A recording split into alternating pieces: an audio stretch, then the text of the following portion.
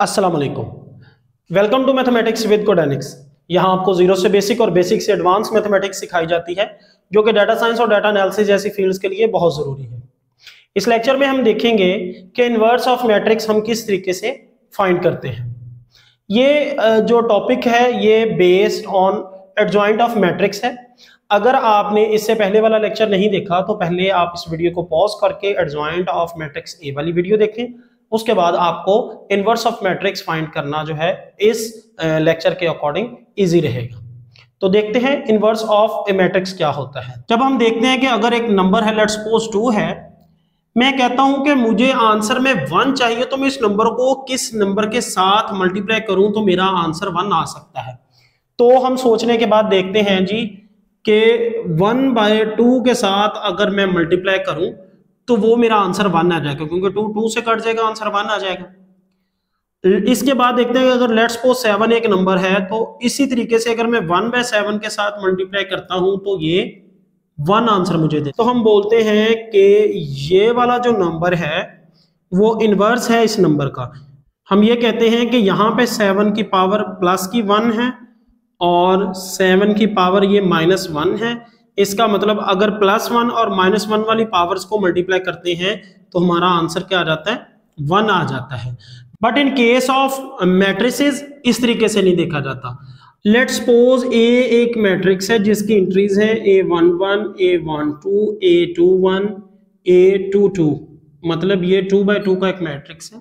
अगर मैं इस मैट्रिक्स को किसी ऐसे मैट्रिक्स के साथ मल्टीप्लाई करूँ फॉर एग्जांपल बी वो दूसरा मैट्रिक्स है जिसकी इंट्रीज हैं B one one B one two B two two B two three ये भी टू बाई टू का एक मैट्रिक्स है।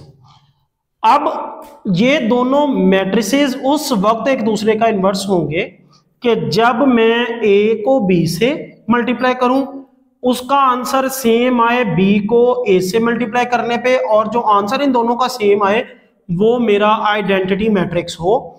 तो ए और बी एक दूसरे का इनवर्स मैट्रिक्स कहलाएँगे। कि अगर मैं ए को बी के साथ या बी को ए के साथ मल्टीप्लाई कर रहा हूँ तो मेरा जो रिजल्टेंट मैट्रिक्स आ रहा है, वो आइडेंटिटी मैट्रिक्स आ रहा है। आइडेंटिटी मैट्रिक्स कौन सा होता है? जिसकी मेन डायगनल की एंट्रीज इक्वल टू वन होती है। ये हमारा आइडेंटिटी मैट्रिक्स है। अगर दो मैट्रिसेस जिनके एलिमेंट्स कुछ इस तरीके से प्लेस हो जनरल मैट्रिसेस हो तो ए को बी से या बी को ए से मल्टीप्लाई करूँ तो उनका आंसर सेम आए और जो आंसर है, जो रिजल्टेंट आए, वो हमारा आइडेंटिटी मैट्रिक्स हो तो ये दोनों ए और बी एक दूसरे के इनवर्स मैट्रिसेस कहलाते हैं। अब क्वेश्चन ये आता है जहन में कि जो हमारा इनवर्स ऑफ़ मैट्रिक्स है, वो किस कंडीशन में डिफाइन है और किस कंडीशन में अनडिफाइन है। उस क्वेश्चन को सॉर्ट आउट करने के लिए आपने एक स्टेप करना है। Let suppose A is a matrix जिसकी एंट्रीज है A one one A one two A two one and A two two ये एक मैट्रिक्स है। आपने इसका देखना है कि इसका इन्वर्स डिफाइन है या अनडिफाइन है। इसके लिए आपको एक स्टेप करना होगा पहले कि आपने डिटर्मिनेंट ऑफ़ ए फाइंड करना है। इसमें दो कंडीशंस हो सकती हैं। एक कंडीशन ये हो सकती है कि डिटर्मिनेंट ऑफ़ ए का आंसर ज़ीरो के इक्वल आ जाएगा। दूसरी कंडीशन हो सकती है डिटर्मिनेंट ए का answer not equal to zero आ जाएगा। इसका मतलब है अगर ज़ीरो आ जाएगा तो ये एक सिंगुलर मैट्रिक्स हो जाएगा। सिंगुलर मैट्रिक्स और जो सिंगुलर मैट्रिक्स होते हैं, वो नॉट इन्वर्टिबल होते हैं। उनका हम इन्वर्स फाइंड नहीं कर सकते। तो सिंगुलर मैट्रिक्स हो गया तो ये नॉट इन्वर्टिबल हो जाएगा। नॉट इन्वर्टिबल मतलब हम इसका इन्वर्स फाइंड नहीं कर सकते।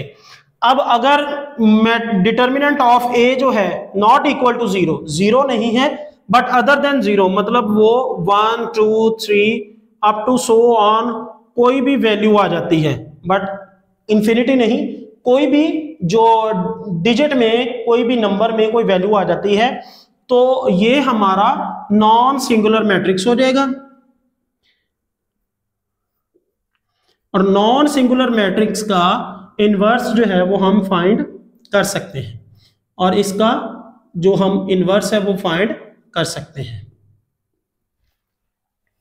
लेट सपोज़ ए एक मैट्रिक्स है, जिसकी एंट्रीज हैं A one one A one two A two one A two two अब इसका इन्वर्स किस तरीके से फाइंड किया जाता है? ए का इन्वर्स इसका मेथड ये है जी one over determinant of A multiply by adjoint of A ये है जी इसका फॉर्मूला कि आपने वन ओवर डिटर्मिनेंट को मल्टीप्लाई कर देना है एडजॉइंट ऑफ़ ए के साथ। एडजॉइंट ऑफ़ ए किस तरीके से फाइंड करते हैं? डिस्कस कर चुके हैं। डिटर्मिनेंट ऑफ़ ए किस तरीके से फाइंड करते हैं? ये हम डिस्कस कर चुके हैं। अब ये डिस्कस करने लगे हैं कि ए मैट्रिक्स का डिटर्मिनेंट फाइंड करके और एडजॉइंट ऑफ़ ए फाइंड करके हम किस तरीके से मैट्रिक्स का इनवर्स फाइंड कर सकते हैं। एग्ज़ाम्पल के थ्रू चेक करते हैं। ए एक मैट्रिक्स है जिसकी वैल्यूज़ हैं three four two and one inverse का फार्मूला है जी A inverse equals to one over determinant of A multiply by adjoint of A लेकिन हम जो भी मैट्रिक्स का इन्वर्स फाइंड करते हैं, उस इन्वर्स फाइंड करने से पहले हम पहले डिटर्मिनेंट ऑफ़ ए फाइंड करते हैं, उसके बाद हम देखते हैं कि ये इसका जो इन्वर्स है, वो डिफाइंड है या अनडिफाइंड है? डिटर्मिनेंट ऑफ़ ए फाइंड करते हैं। Determinant of A is equal to three four two and one determinant कैसे फाइंड किया जाता है? डायगनल इंट्रीज का प्रोडक्ट जो होता है, उसका डिफरेंस थ्री को मल्टीप्लाई किया वन के साथ माइनस टू को मल्टीप्लाई किया फोर के साथ. थ्री वन जार थ्री माइनस फोर टू ज़र एट एट माइनस का है और थ्री प्लस का है, प्लस माइनस माइनस। और एट में से थ्री माइनस किए फाइव। डिटर्मिनेंट ऑफ़ ए जो है, वो आ गया माइनस फाइव के इक्वल इसका मतलब नॉट इक्वल टू ज़ीरो इसका मतलब कि ये नॉन सिंगुलर मैट्रिक्स है और हम इसका जो इनवर्स है, वो फाइंड कर सकते हैं। डिटर्मिनेंट ऑफ़ ए की वैल्यू आ गई minus five. Adjoint of A किसके इक्वल है? इसका मतलब है ये इक्वल है एडजॉइंट ऑफ़ ए मैट्रिक्स की वैल्यू है three four two and one इसका जो मैट्रिक्स का एडजॉइंट किस तरीके से आएगा? मेन डायगनल की इंट्रीज की प्लेस चेंज करनी है। यहाँ पे आ जाएगा वन और यहाँ आ जाएगा थ्री और जो अदर डायगनल है उसके साइन चेंज करने। हैं प्लस का फोर था, इधर माइनस का फोर बन गया। इधर प्लस का टू था, इधर माइनस का टू बन गया। तो ये आ गया हमारा adjoint of A A inverse का क्या फॉर्मूला है जी? A inverse is equal to one over A का determinant multiply by adjoint of A one A determinant क्या है जी? माइनस फाइव मल्टीप्लाई कर देंगे इसको. One minus four, minus two and three. इसका मतलब ये है कि माइनस फाइव जो है वो डिवाइड हो रहा है। वन के साथ, इसका मतलब ये है कि वन के साथ ये मैट्रिक्स मल्टीप्लाई हो रहा है बट माइनस फाइव पे ये मैट्रिक्स डिवाइड हो रहा है।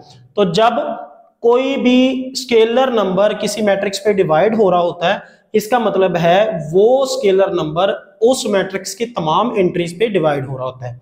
तो हम इसको माइनस फाइव को डिवाइड कर देंगे वन बाय वन सारी एलिमेंट्स पे। वन को डिवाइड किया माइनस फाइव पे माइनस फोर को डिवाइड किया माइनस फाइव पे माइनस टू को डिवाइड किया माइनस फाइव पे थ्री को डिवाइड किया माइनस फाइव पे। ये माइनस माइनस कट गए, ये माइनस माइनस कट गए और ये आंसर आ गया माइनस वन ओवर फाइव ये आ गया फोर ओवर फाइव ये आ गया टू ओवर फाइव और ये आ गया थ्री ओवर माइनस फाइव इसको बोलते हैं जी ए इनवर्स की वैल्यू ये आ गई है। हमारे पास मैट्रिक्स ए ये है और ए इनवर्स ये है। अब हम ए को a इनवर्स के साथ मल्टीप्लाई करेंगे। देखना है कि इसका आंसर क्या आता है।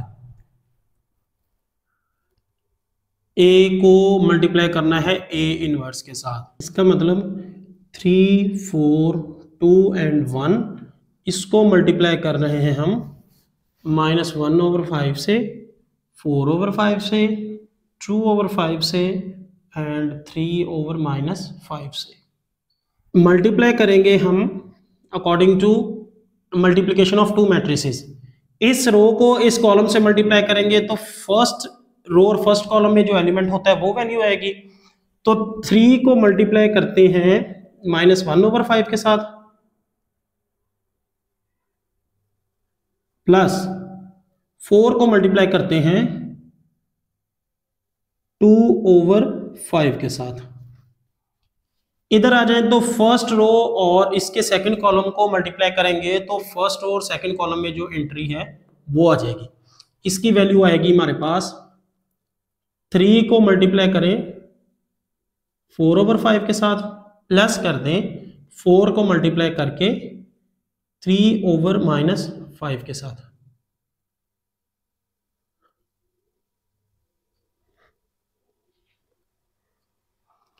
सेकेंड रो और फ़र्स्ट कॉलम टू को मल्टीप्लाई किया माइनस वन ओवर फाइव के साथ। प्लस वन को मल्टीप्लाई किया टू ओवर फाइव के साथ। इधर आ जाएगा जी टू को मल्टीप्लाई कर रहे हैं फोर ओवर फाइव के साथ प्लस वन को मल्टीप्लाई कर रहे हैं थ्री ओवर माइनस फाइव के साथ। Minus three over five plus four twos are eight over five four threes are twelve over five plus four threes are twelve over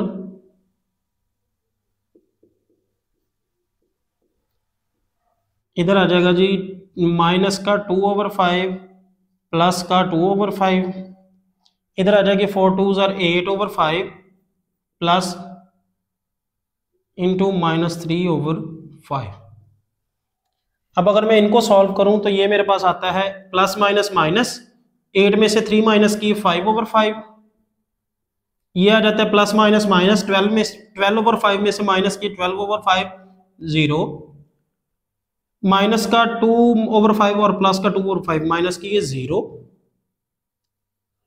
eight plus minus minus eight में से three minus किए five over five अब अगर मैं इनको divide करूँ तो answer मेरा बन जाएगा वन ज़ीरो ज़ीरो वन ये इक्वल है आइडेंटिटी मैट्रिक्स के। इस एग्जांपल से हमें पता चला कि जो हमने इनवर्स फाइंड किया था, वो रियली इस मैट्रिक्स का इन्वर्स ही है, क्योंकि जब हमने इन दोनों मैट्रिक्स को मल्टीप्लाई किया है तो हमारा आंसर जो है वो आइडेंटिटी मैट्रिक्स आ गया है। जी तो मेरी कौम के नौजवानों, इस लेक्चर में हमने देखा है कि इन्वर्स ऑफ़ मैट्रिक्स क्या होता है, किस तरीके से फाइंड करते हैं, और इसका मेथड क्या है? इन्वर्स जो है किन सूरतों में डिफाइंड होता है और किन सूरतों में अनडिफाइंड होता है? और क्या जो इन्वर्स जो हमने फाइंड किया है, उसको जब हम ओरिजिनल मैट्रिक्स के साथ मल्टीप्लाई करते हैं कि आइडेंटिटी मैट्रिक्स आता है या नहीं आता, जो कि हमारे इन्वर्स होने की कंडीशन थी। हमने एग्जांपल से प्रूव किया कि जो इन्वर्स हम फाइंड कर रहे थे ए मैट्रिक्स का, उसका इन्वर्स और product of inverse with original matrix उसका आंसर आइडेंटिटी मैट्रिक्स है। इससे हमें यह साबित हुआ कि जो इनवर्स ऑफ़ एनी मैट्रिक्स होता है, वो ओरिजिनल मैट्रिक्स के साथ मल्टीप्लाई करने पे आइडेंटिटी मैट्रिक्स दे तो वो उस मैट्रिक्स का इनवर्स ही कहलाता है। कोडेनिक्स को सब्सक्राइब करें और ऐसे और लेक्चर्स सुनने के लिए यूट्यूब पर और गूगल पर मैथमेटिक्स विद कोडेनिक्स सर्च करें। अल्लाह ने के बाद।